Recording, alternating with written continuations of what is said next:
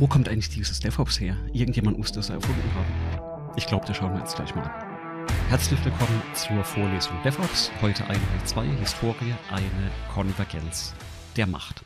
Bevor wir in das Thema einsteigen, wie immer ein Lernziel. Heute sollen Sie den Ursprung der DevOps-Bewegung kennenlernen und die Konvergenz von DevOps verstehen.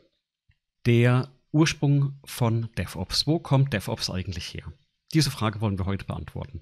DevOps wurde nicht einfach erfunden, sondern basiert auf mehreren Ansätzen wie Lean, der Theory of Constraints, dem Toyota Production System, Resilience Engineering, firmenweiten Lernen, einer ausgeprägten Sicherheitskultur, zahlreichen menschlichen Aspekten und natürlich agilen Methoden. Auf die Einzelbegriffe werden wir im Verlauf der gesamten Vorlesung später eingehen. Für heute lernen wir einige der relevantesten Aspekte kennen, die zu DevOps geführt haben. Die Lean-Bewegung hat ihren Ursprung im Toyota Production System, das in den 1980ern bei Toyota begründet wurde.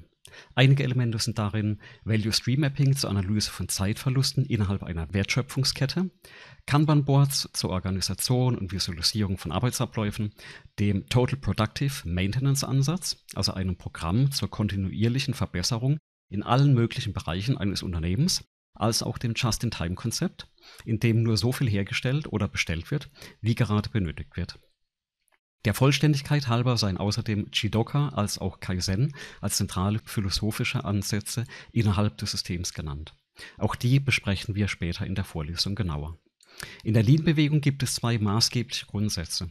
Zum einen werden Durchlaufzeiten als bestes Maß für Kunden als auch Mitarbeiterzufriedenheit angesehen und dass die beste Voraussetzung für kurze Durchlaufzeiten möglichst kleine Arbeitspakete sind. Zusammengefasst verfolgt also der Lean-Ansatz, möglichst schlanke Prozesse zu schaffen. Das Agile oder Agile Manifesto wurde 2001 von 17 führenden Köpfen der Softwareentwicklung begründet. Das Agile Manifesto umfasst einen schlanken Satz von Werten und Prinzipien. Dazu gehören zum Beispiel die regelmäßige Auslieferung von Softwareinkrementen, wobei kleine und kurze Zeiträume zu bevorzugen sind. Aber auch basieren die Prinzipien auf klein motivierenden Teams mit einem vertrauensbasierten Managementstil. Insgesamt gibt es zwölf Prinzipien, die in dem Agile Manifesto festgehalten sind. Viele Entscheidungsmomente in der DevOps-Bewegung hängen stark mit der Agile-Community zusammen und haben auf entsprechenden Konferenzen in diesem Umfeld stattgefunden. 2008 stellte Patrick Debois erstmals auf der Agile Conference den Ansatz von agilen Prinzipien oder die Anwendung von agilen Prinzipien auf Infrastruktur vor.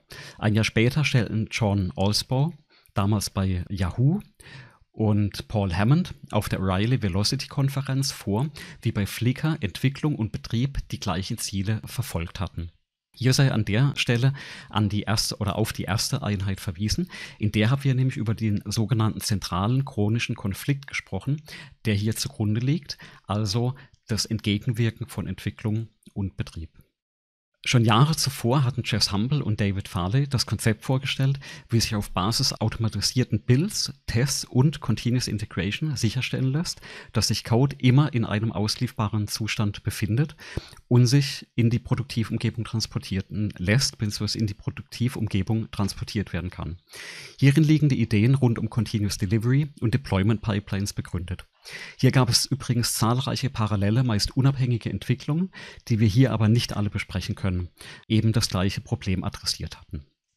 2009 beschrieb letztendlich Mike Rother in seinem Buch Die Kata des Weltmarktführers Toyota Erfolgsmethoden das Fehlen des Verbesserungsprozesses im Lean-Ansatz. Gerade der Verbesserungsprozess hatte Toyota jedoch so weit gebracht und basiert auf dem Definieren von gewünschten Zuständen, dem Setzen von wöchentlichen Zielen und dem der fortwährenden Verbesserung der Arbeit. Zusammengefasst lässt sich also sagen, der DevOps-Ansatz ist nicht einfach so entstanden und wurde auch nicht erfunden. Zahlreiche Bewegungen konvergierten über einen längeren Zeitraum in eine ähnliche Richtung und die Entwicklung von DevOps hat sich über Jahre hinweggezogen. Vielen Dank für eure Aufmerksamkeit. Wenn ihr noch Fragen habt, stellt gerne in den Kommentaren, auf Twitter oder im Discord. Falls ihr spezielle Themen hören wollt, lasst es mich gerne wissen. Oder besucht mich einfach im Livestream.